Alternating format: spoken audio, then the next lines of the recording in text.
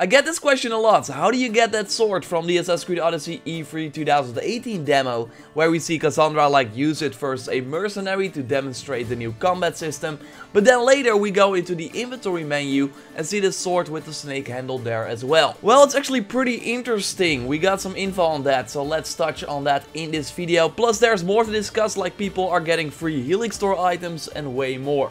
Let's get into it. If you enjoyed that, then a like would be super appreciated. And let's go. I, by the way, picked a winner for the Abstergo Gear Pack giveaway. Congrats to Brian for winning. I sent you an email, so please send me your info and then I will send you a code so you can buy Helix credits to get the pack. And if you didn't win, don't worry, I will do another giveaway for other upcoming packs. So keep an eye out for that. When we know the pack, I will immediately start my giveaway. So yes, what is going on with this sword with the snake handle that they used again in the E3 demo? Cassandra even holds it on the cover of the game. If you buy the game physically, then you got like Alexios on one side and Cassandra as the reversible cover. And Alexios has the Spear of Leonidas and a regular spear, while Cassandra has this sort of snake kopis weapon in her hands. And also this promotional picture that shows the progression of your character. You see Alexios with this weapon in his hand as well. It gets even even crazier because Ubisoft sponsored a video where they forged the Spear of Leonidas like in real life, but they also recreated this sword that is again not in the game at the moment.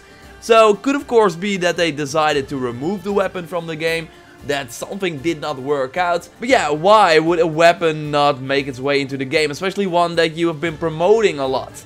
It's really weird, especially because the files for this weapon are found on the PC. Shout out as always to Badaboom for discovering this and he shared this image of the weapon including the stats with assassin damage and plus 30% adrenaline per crit and also a sort of bugged legendary assassin perk that around that time, so that was December 13th, wasn't known. Now fast forward to recently when we discussed the Abstergo gear pack that was leaked some people actually noticed that that weapon was in the inventory of the leaked Abstergo shots. Well, turns out that Kuan Nirot, who shared these shots with me, did this on purpose to see if people would notice. Well, people did, and that means that he actually got the weapon thanks again to the files on the PC. And he also shared a screenshot of the stats of this weapon, and there we do see a legendary perk, namely the plus 20% damage with the critical assassinate ability. So that is not a really really weird perk, it's pretty regular actually, something you would expect is already like in the game. But no, we do have the mastery level though, and normally those are based on weapon perks or set bonuses that also appear on weapons or gear. So that is interesting, right? That on December 13th this weapon did not have a legendary perk, or at least it was bugged. But now, a few months later, it has this legendary perk that increases your critical assassinate. So it's super weird, the weapon is available, Kuan Nirot is able to use it, it has perks, it has a mastery level linked to that perk. Yet, as far as we know, there's no way to find it. Of course, if you found it, let me know in the comments down below. But I think there is really no way to get it. It's kind of the same story as the awesome sort of upgraded Spartan War Hero set with the cape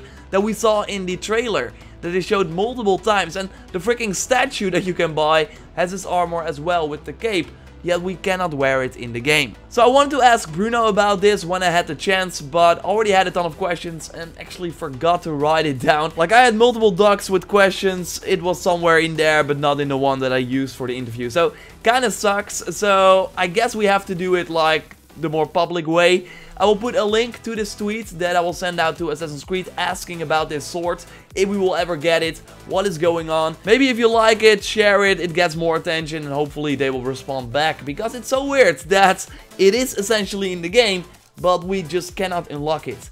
And kind of the same, and this also interesting, can be said for the sun hat item. Or we actually should now say Talia's overprotective sun hat. We of course discussed the sunburn resistance that showed up in some people's engraving window. Like I don't see it, it's not there for everyone, but the footage you see here is from my editor Joyce, who helps me out with at least one video per week. She did have it, as you see right here, and many people reached out as well. So This might be linked to that sun hat that again is now called Talia's overprotective sun hat. But there seems to be more going on with this because since they changed the name of this sun hat, you can actually not get it anymore at the blacksmith, at least that seems to be the case. So what happened was with update 1.12 they suddenly added the item to the blacksmith inventory. So you had to go to different blacksmiths and then get lucky that it suddenly was there so you could buy it and then unlock it as a visual customization option. Well, it seems like with update 1.14 nobody can find it anymore. I got reached out by Shadow who said that he searched everywhere and could not find this item. I also asked people on Twitter and on Reddit and nobody found the hat at the blacksmith after update 1.14 that again changed the name of this item. We got Andrew Smith in the comments of my recent video that talked about the sunburn resistance, saying that Talea is the goddess who presided over comedy and idyllic poetry, so maybe this with the sunburn resistance is just an April Fool's joke. And with April 1st coming up, this of course could totally be the case. Also looking at the description of this sun hat that was by the way also changed with update 1.14 saying that this hat is known to be so protective against the sun that its wearer is nearly immune to sunburn. Hence the 99% sunburn resistance you would think, right? So I had the Crazy Rhodes theory saying that maybe we could go there to battle the sun god Helios, but many of you pointed out that this was like far beyond the time period of Odyssey. I mean, you got the Staff of Hermes, of course, but yeah, I agree, it's pretty unlikely that they add that new island to the game. No, with that Fate of Atlantis DLC, we will likely use the gateway to the Lost City, like with the different portals there to get to the new exciting world, as Bruno liked to call it. The sunburn and the sun hats could still be connected to that DLC though. And by the way, thanks to Alan for letting me use his Happy Farmer build gameplay. Also with the sun hat, I thought it made sense for this video. But anyway, back to Talea, because if we look at the Wikipedia page of this goddess, we find some interesting info. Because maybe that's something to do with the nine muses, inspirational goddesses of literature, science and arts. So maybe the Atlantis DLC has something to do with all of them, that those will be targets that we have to kill.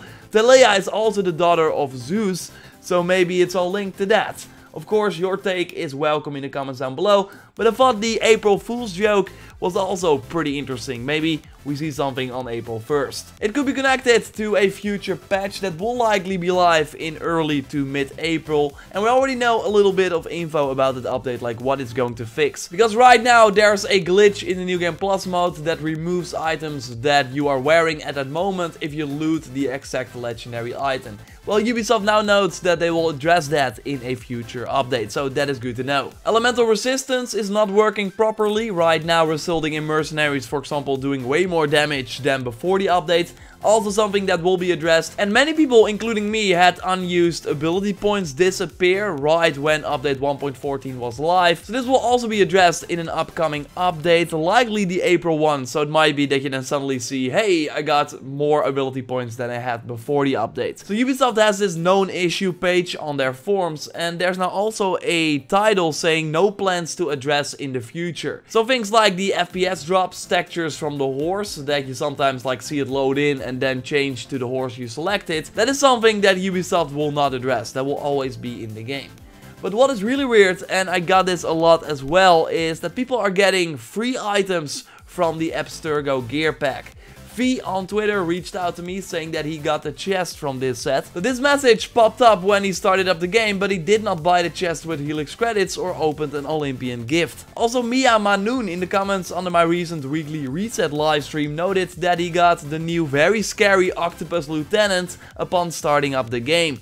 So a lot of people are getting lucky I guess. I got way more people sending me that they got free Abstergo gear pack items. I'm still waiting here for the freaking Hades Lieutenant of course, but if you saw my recent videos then you know that I got three legendaries in a row from these Olympian gifts. And I'm not the only one, like Gerald on Twitter also got three legendary items from the Helix store after each other. So let's see if that's still the case, if I can get another legendary drop in this fourth roll. Subscribe of course for everything Assassin's Creed Odyssey, where we know more about the sword or the sun hat or anything else I will let you know here. Like the video to support channel and now let's get to Sargon to see if we can finally get the freaking Hades Lieutenant. Really a pro tip by the way is to park your ship near the Eco store so you are way faster at Sargon and the message board. Normally I like fast travel but that actually takes way longer so you can better put your ship there and if you have no plans to go uh, do some naval stuff, then you can easily get to Sargon, see the awesome items he's selling, but no, we of course want the freaking Hades Lieutenant. So let's see what we can get in this gift. Come on, come on. Yeah. I mean, three legendaries after each other was already kind of crazy, so uh, I did not expect uh, uh, like another legendary, to be fair. I forgot this the last time someone pointed it out, thanks for that. I will not forget it anymore. Yes, I'm not shooting with the Hades bow, so no burning body. He will still swim though. Subscribe for way more Assassin's Odyssey videos. I made a video on Assassin's Creed 3 Remastered recently. You can check that out by clicking on the screen. Or my review of the Abstergo gear pack.